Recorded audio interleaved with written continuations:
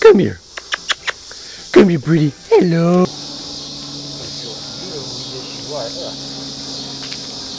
Why am I out here? Well, it's getting kind of crazy downstairs in the review room. Jeffrey just watched all the Disney sequels. All the unneeded, desperate, seeking attention Disney sequels. Unity, huh? God help him. God help him.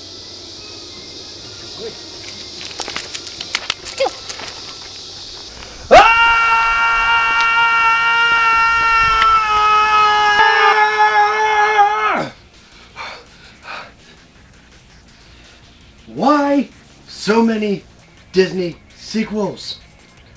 And they do not stop. It's pointless. I see no reason for it. They're slowing down a little bit, but God. Just why? It.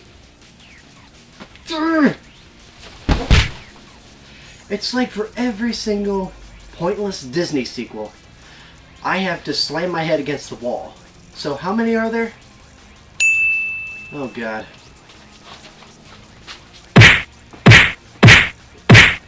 Oh, many more?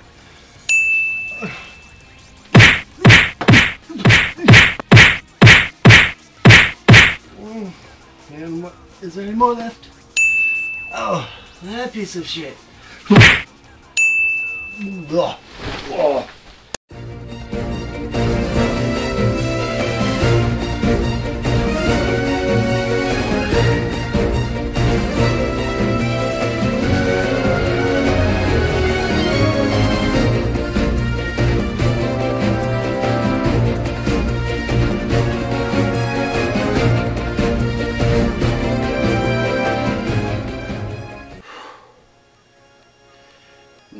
Taken 500 Advils to cure the migraine through all of these films, I can speak calmly and rationally, and even acknowledge, before I start ranting once again, the good Disney sequels. Hear me out. First one, Rescuers Down Under. It's better than the original in every way. It ups the animation, the drama, action, character building. It's just better all around. It feels like it's moving itself forward. And it's a shame. I would have seen another one. It's a shame it came out when it did and just nobody saw it. And it was just a sad thing. Because this was a Disney sequel that just deserved to be made. And there was an actual, genuine, classic effort put behind it. Next two are tied for number one spot because they both present good ideas but fall unbelievably short. Lion King 2, Simba's Pride, and Lion King 1.5. Lion King 2's presented some good story ideas, the fact that Zira and some other lions actually liked Scar during his role and proceeded to still follow him in his beliefs even after he had passed on and were banished. So there's this whole rivalry between the prides. So that's pretty cool. But where that falls short is with, you know, the Scar recolor of Kovu and the Simba recolor in the form of Kiara. And the attempt to replace classic songs. My Lullaby attempted to replace Be Prepared, and Upendi attempted to replace Hakuna Matata. Love Will Find a Way attempted to replace Can You Feel the Love Tonight, and they all fail. And with Lion King 1.5, I love the references to other movies like Fiddler on the Roof, series like Mystery Science Theater 3000. Those are very funny ideas, and to see Timon's origin story is kind of cool to see where he came from, but they, they fall short with that by not giving Pumbaa an origin story. Adding 10-15 minutes of animation to tell Pumbaa's backstory probably would have landed this in theaters, honestly. But they failed to do that completely because I guess you could argue they already explained that in the original film anyway, but still would have been nice to see have that touch. Then it's a little iffy with the how it plays out where they were at certain times. Like it was like one after the other. It's just the time. It, it bugs me that obviously these things didn't happen one after the other.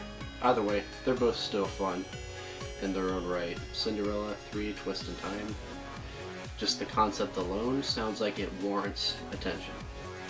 And the other decent ones are um, Mickey's Twice Upon a Christmas, which, you know, it's a Christmas special, but it, it, technically it is a sequel.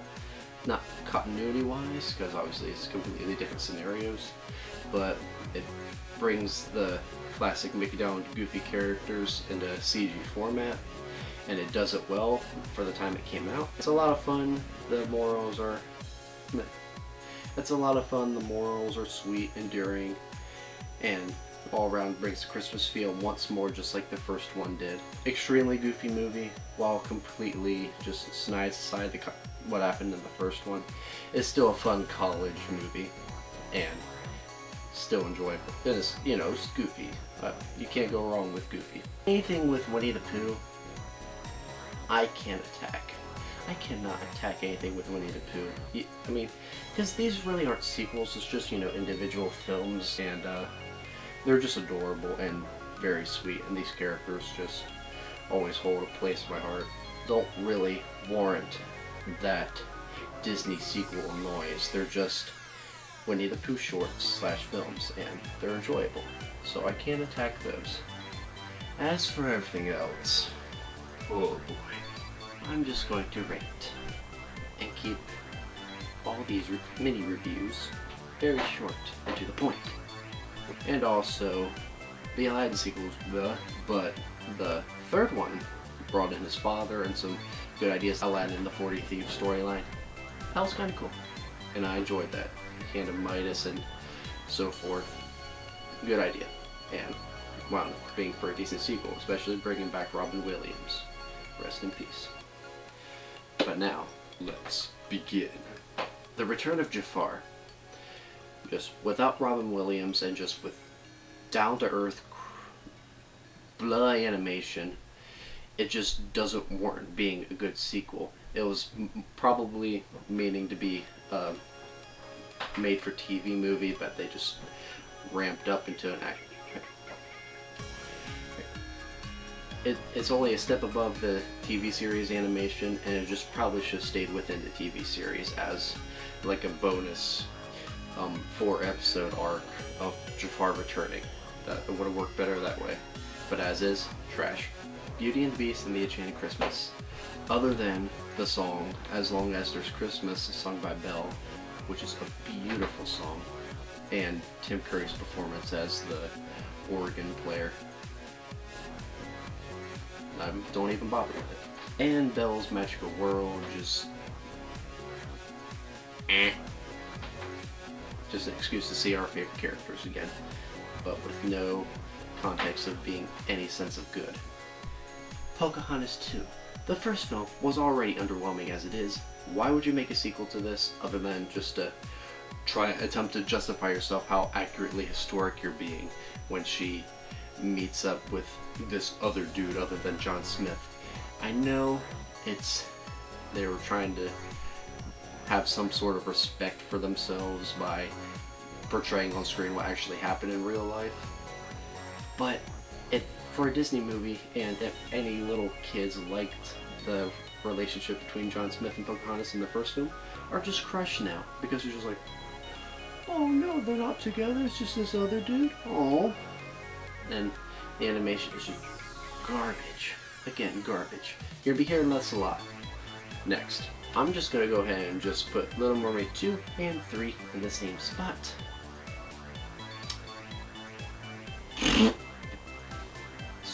Don't. Not even any words, just a sound effect. Next. Cinderella 2, Dreams Come True. Just three shorts based on Cinderella and just giving these other characters these arcs and you know, emotions and character building, but just pointless. Pointless. And it's not even a smooth narrative. It's not a single film. It's just three separate stories that should have just been released as three separate Cinderella shorts. Which that probably could have worked if they released it with like different different movies. But nope. The Hunchback of Notre Dame 2. Just why would you make a sequel to this? The film ended perfectly with the moral of accepting others and finally being accepted by society. The only reason this film was made was to give Quasimodo a girlfriend. That is the only reason, and it's pointless. 101 Dalmatians 2, Patch's London Adventure. Why? Why this specific Dalmatian? Why why his adventure? Why not um Spooky Pookie's adventure? Why not Dingleberry's adventure? Why not I wipe my butt on the rug while scooting along adventure? Why not I peed on the hydrant and the tree and the bed all at the same time adventure? Next. Okay. Some sequels just don't bother any merit because the first film ended on such a climatic and perfect note. Like Mulan 2 and Brother Bear 2. There is no reason for this other than, again, to give the comedic relief love interests. Moving on. Midquels anger me the most. Tarzan 2 and Bambi 2. These two, just take your copies, toss them down the toilet, piss, shit, throw up all over them, and then just flush and just watch them go away where they belong. Deep in the sewers of nonsensical, pointless sequels that are completely redundant. Fox and the Hound 2. Another midquel, but you wasted the voice talents of Reba McEntire and all these great country singers just for this stupid midquel that just doesn't warrant even being made. Atlantis 2, Milo's Return. just God, bring this crappily animated sequel, and this didn't even have an animated TV series to follow up the grandeur of Atlantis that brought us these unforgettable characters and great sense of discovery. And you just said, Hey, let's just throw this together. Just basically a bunch of subplots for an AMA TV series, again, just spliced together to make a film. just Ah! other than the sequels that I actually did wind up enjoying, my final score for all these sequels, I'm just going to throw it across the board and give them all, all together, a 4 out of 10. Because a few of them, horribly animated. Some of them, decently animated. And some of them can, did rival the animation of the previous films, but that's only because some of the movies are so freaking old, Fox and the Hound and so forth, that the sequel does emanate much better animation. But, as is, there's just really no point in checking any of these out. So, that begs the question, why do any of these exist? Because the fans wanted to see their favorite characters again, and that is the only reason, and the only merit for any of these existing. The other reason is that Disney knew this and wanted to exploit the living fuck out of us. Hey, we'll make all these sequels, and then we'll just take all your money. Money. And we'll let you enjoy the show, and they come- God, I've calmed down. This has been a Way Fast Review. We'll see you next time on Team Epic Force. I am never doing that again.